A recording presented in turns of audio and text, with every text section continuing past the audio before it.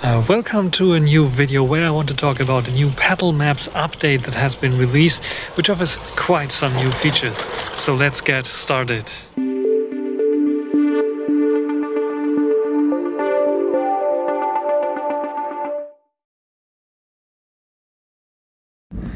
So here we have a new version of Petal Maps and as you can see here basically the same that we had before. We have the possibility still to search for hotels, restaurants and so on.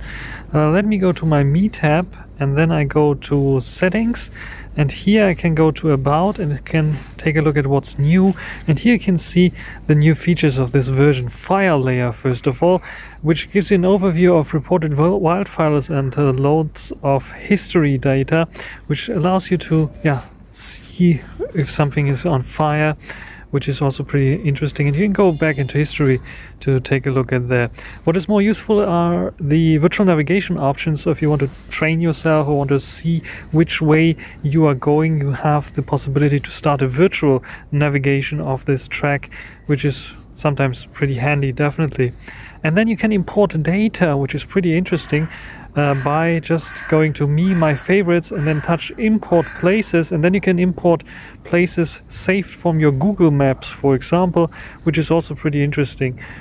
And we have uh, the lane guidance, which gives you more, yeah, graphically shown more details on when to switch lanes and which lane to take when you have to go left or right pretty interesting as well so let's go and uh, check uh, out the google maps thing. So we can go into our settings.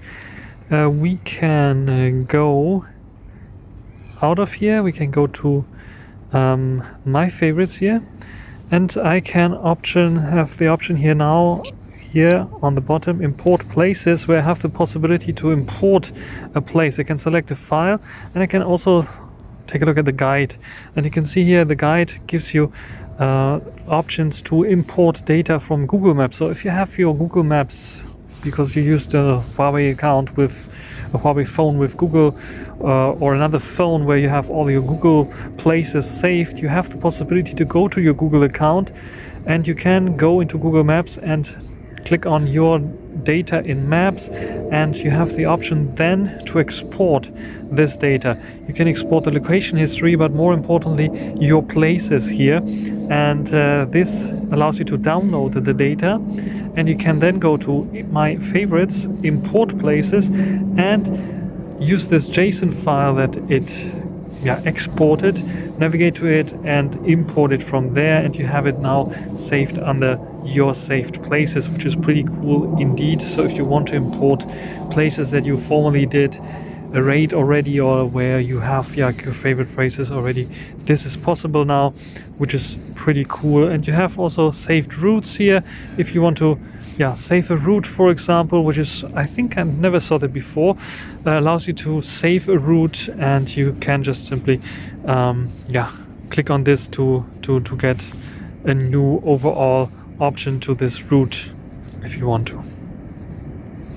So this is one possibility that you can see here. The rest of the app has been updated as well a little bit in fluidity and you get more and more ratings here just like for example this steakhouse looks interesting and you can see I have more and more feedback here more and more ratings here which is pretty cool. It gives me also the opening and closing times which is also pretty cool. So this can be really used more and more as a replacement for Google Maps. It's not 100% there yet because yeah, the data is still a little bit lacking here and there, especially for pedestrian uh, navigation. There's still some things missing, but for navigating around with your car, this is really, really good and works fine.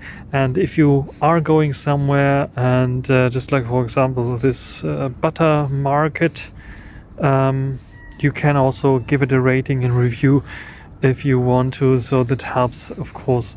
Uh, here we have some buildings as well, like this one here, which gives you more information and pictures about this building as well, which is pretty cool.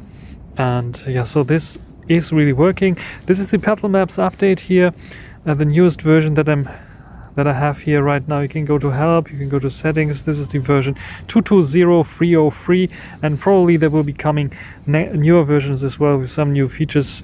Uh, privacy features, for example, is new, uh, which allows you to see what will happen with your data, secure transitions, and uh, secure synchronization of your private data. And uh, yeah, everything else here. Incognito mode is also possible if you want to. Everything in this brand new version of Petal Maps 220303 Hope you enjoyed this little video, and until the next time, bye.